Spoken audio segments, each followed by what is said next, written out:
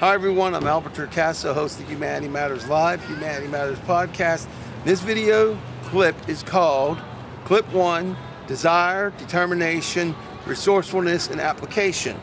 Now, they say you have to get your audience in the first 30 seconds, so here's what I'm going to do I'm going to tell you straight out this could be one of the videos, the following video actually, could be one of the videos that can help you to change your life.